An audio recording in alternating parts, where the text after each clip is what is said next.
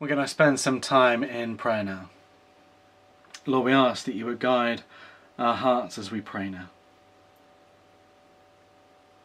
Lord, we do not understand so much of what goes on in the world. We do not walk in those powers and those corridors of government, of authority and the ways of senior leaders and people in palaces is a world we do not know but we know that you are present in all those places. Your word tells us of your working in the minds and the hearts of uh, of kings who who know you and worship you, and of kings who oppose you. In all those places you are present. In all those places you are seeking to bring uh, life, to show mercy, to guide people towards yourself.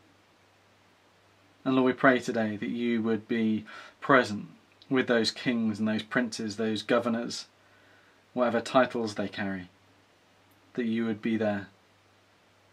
Lord, we ask that you would show them your mercy, reveal yourself to them, allow them to understand the, the responsibility of their office.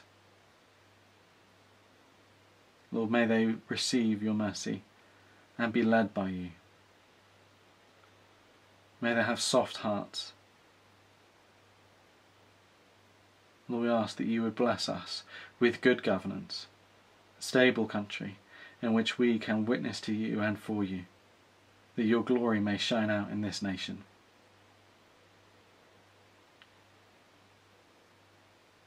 Lord, we pray for those we know who are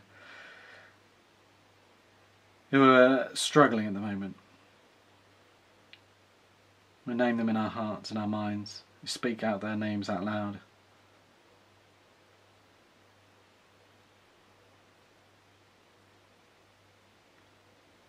Lord, open our eyes. Help us to see people as you see them, with the love you have for them, the mercy you have for them, the gentleness and the kindness that you would show them. Break our hearts for those who are heartbroken. Enable us to be a blessing, as limited as we are. Show us what we can do, what we can do in your strength and for your glory. In Jesus' name we pray. Amen.